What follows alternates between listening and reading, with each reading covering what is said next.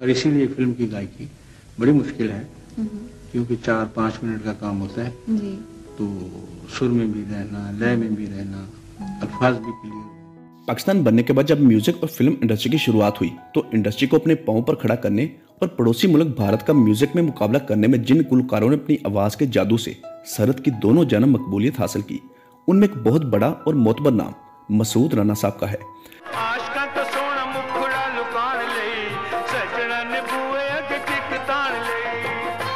मसूद राना जिनका शुमार पाकिस्तान के अजीम गुलकारों में होता है, जिन्होंने सैकड़ों यादगार गीत गाए, जो आज भी बहुत शौक से सुने जाते हैं।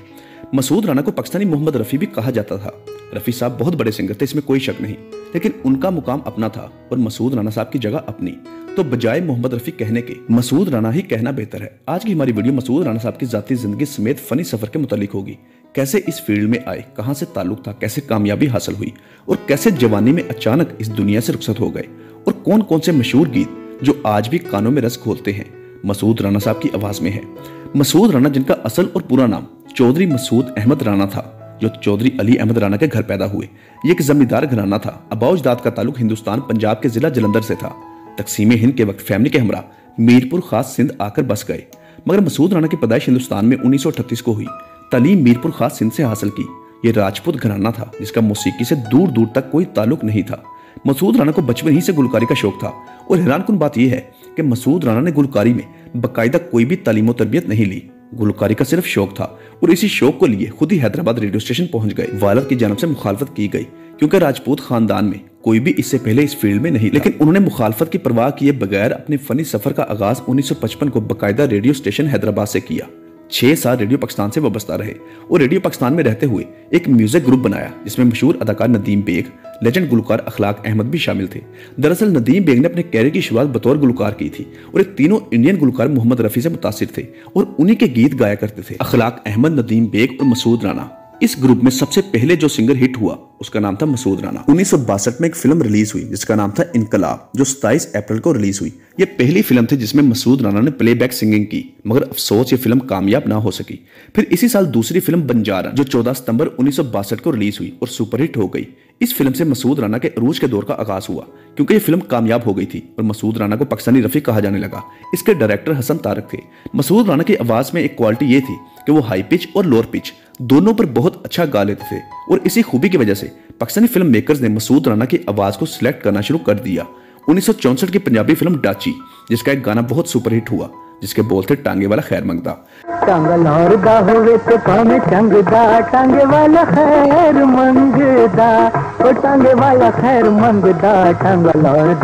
ते चंगदा ये गाना मसूद राना की आवाज़ में था जो लाला सुधीर पर फिल्माया गया था।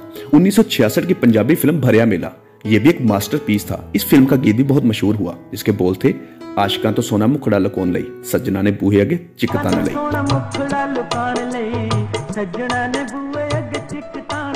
तो चंद फ़िल्मों में कामयाब गुलकारी की बदौलत मसूद राना की आवाज़ को पंजाबी फ़िल्मों की ज़रूरत समझा जाने लगा और फिर इसी आवाज़ ने मुसलसल चार दहाइयाँ पाकिस्तानी फ़िल्म इंडस्ट्री पर राज किया। सॉरी तीन दहाइयाँ पाकिस्तानी फ़िल्म इंडस्ट्री पर राज किया।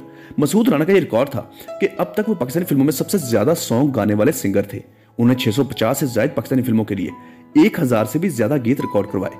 कामयाबी का अंदाज़ा इस बात से लगा लें कि अपने दौर में पाकिस्तान की हर पंजाबी फ़िल्म का तीसरा गाना मसूद राना की आवाज़ में होता था। बहुत बड़े बड़े सिंगर मेहंदी हसन, सलीम रजा, अनायत हुसैन भट्टी, अहमद रुश्दी और अखलाक अहमद। इन तमाम सिंगर्स के बावजूद मसूद राना की आवाज़ में ज़्यादा गीत रिकॉर्ड अगर उनके गीतों के मुतालिक तफसीलन बात की जाए तो ये बताना नामुमकिन है कि उन्होंने कौन कौन से गीत गाए और कौन कौन से गीत सुपरहिट हुए। 1966 में एक उर्दू फ़िल्म रिलीज़ हुई, जिसका नाम था हमराही जो कि अपने वक्त की सुपरहिट म्यूजिकल हुब्बुल वतनी और हिस्ट्री पर मबनी फ़िल्म थी। इस फ़िल्म में सात गीत थे और तमाम के तमाम गीत मसूद राना की आवाज़ में रिकॉर्ड हुए। आप एक बहुत बड़े और अजीम सिंगर थे। गीतों के साथ साथ बहुत बड़ी तादाद में मिली नगमे भी गाए, जिनमें एक नगमा उन्नीस सौ पैंसठ की जंग पर चलाया गया।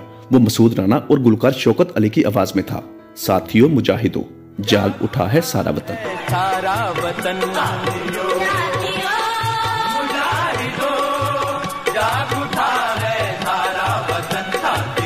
अगर बात की जाए मसूद राना साहब के चंद मशहूर गीतों की जो हमें पसंद है, जिनमें है, तुम ही हो महबूब मेरे, मैं क्यों ना तुमसे प्यार करूँ? इस फ़िल्म का नाम था आईना। फ़िल्म हम हमराही की एक नाज शरीफ, जो आपकी आवाज़ में थी। करम की एक नज़र हम पर खुदाया या रसूल सल्लल्लाहु अलैहि वसल्लम। फ़िल्म चाँद और चांदनी, तेरी याद आ गई, गम खुशी में ढल गए।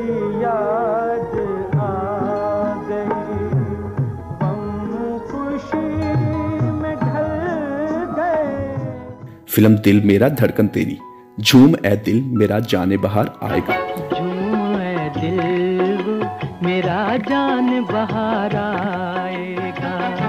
झूम ए दिल। पाकिस्तानी फ़िल्म मैगजीन की वेबसाइट पर मसूद राना साहब को उनकी 25वीं बरसी पर बहुत उम्दा और काबिल तारीफ़ तरीके से खराज तहसीन पेश किया गया जिसमें उन तमाम साथी फनकारों का ज़िक्र किया गया जिन्होंने मसूद राना साहब के साथ काम किया। और अब तक उनके मुतालिक 136 मजामीन लिखे गए, जो कि एक मुनफरद और बहुत बड़ा खराज तहसीन है, जिसकी मिसाल नहीं मिलती। उन्हीं के मजमून में से चंद लाइनें नकल करते हुए, मसूद राना पाकिस्तानी फिल्मी तारीख के सबसे बेहतरीन ऑलराउंडर गुलकार थे, जो हर रंग, हर अंग और हर डंग में गाते थे। यही वजह थी कि वो पाकिस्तान के वाहद गुलकार थे, जो उन्नीस में अपनी पहली फ़िल्म से लेकर उन्नीस में अपने इंतकाल तक फिल्मी गायकी की ज़रूरत बने रहे। और इन चौंतीस वर्षों में एक साल भी ऐसा नहीं गुजरा, जब उनकी बतौर गुलकार कोई फ़िल्म रिलीज़ ना हुई हो। अपने इस तवील फिल्मी कैरियर में उन्होंने सबसे ज़्यादा फ़िल्मों में सबसे ज़्यादा गीत रिकॉर्ड करवाए।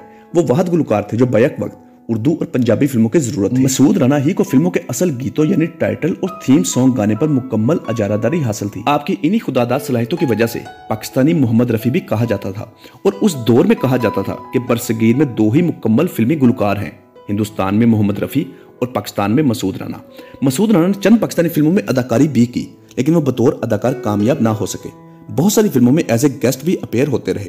उनको एक मुनफरद एजाज ये भी हासिल रहा कि उनके गीत जो ऐसे फिल्मी हीरो पर फिल्माए गए, जिनके बाद उन्हीं हीरो के बेटे जब फ़िल्म इंडस्ट्री में आए, फिर उन्हीं के ऊपर आप ही की आवाज़ में गीत रिकॉर्ड करवाए गए। मिसाल के तौर पर पाकिस्तानी दिलीप कुमार अकमल साहब के लिए आपने गाने गाए और फिर उनके बेटे शहबाज अकमल के लिए भी आपकी आवाज़ को चुना गया।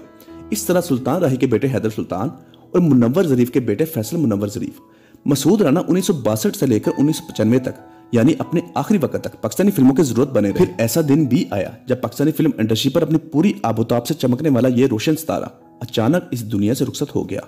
चार अक्टूबर उन्नीस का सूरज अपने वक्त के इस अजीम गुलकार की मौत का परवाना लेकर आया।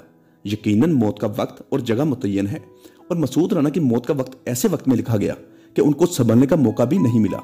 चार अक्टूबर उन्नीस को अपने दोस्तों के हमरा बजरिया ट्रेन लाहौर से सादकाबाद जा रहे थे। कि रास्ते में अचानक तबीयत खराब हो गई और बहुत भयानक हार्ट अटैक हुआ। अटैक इस कदर शदीद था कि मौके पर ही अपने खाल के हकीकी से जा मिले। क्यों पाकिस्तान का ये अजीम गुलकार किसी भी मोहताजगी और किसी पर भी बोझ बने बगैर अपने अरूज पर ही इस दुनिया फानी से रुखसत हो गया। आपको करीम ब्लॉक कब्रिस्तान लाहौर में स्पुरदेखा कर दिया गया। दोस्तों, एक बार सुरह फातिया और तीन बार सुरह खलास पढ़कर मरहूम चौधरी मसूद अहमद राना को बख्श दें। अल्लाह पाक उनको जन्नतुल फिरदौस में आला मुकाम अता फरमाए। तुम ही हो महबूब मेरे। मैं क्यों न तुम्हें प्यार करूँ? तुम ही तो मेरी दुनिया हो।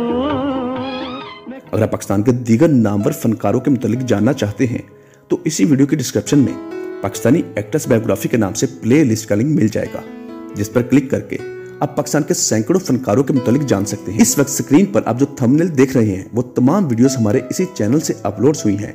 और ये तमाम वीडियोस उसी प्लेलिस्ट में मौजूद है, जिसको लास्ट में विज़िट कीजिएगा।